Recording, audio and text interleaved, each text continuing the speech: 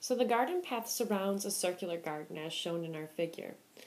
The garden path is 5 feet wide, so all the way around and the distance around the outside of the garden path is 80 feet. This 80 feet would be our circumference, the distance around the circle. We can use this to find our diameter since circumference equals pi times diameter.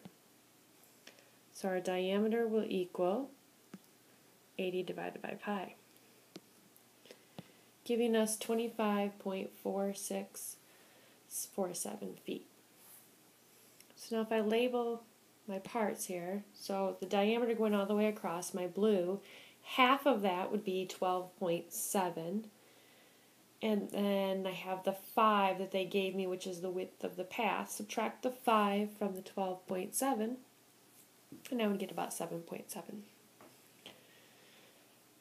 I actually found the area of the garden first, which is that small circle on the inside. Since it has a radius of 7.7, I need to square the radius and multiply it by pi.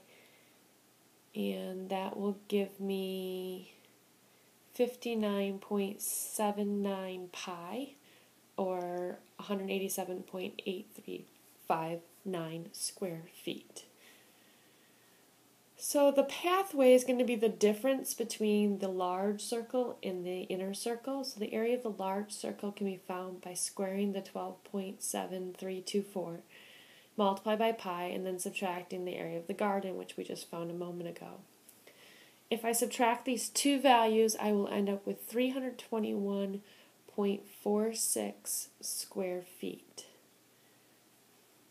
And that would be the area of the gray path around the garden.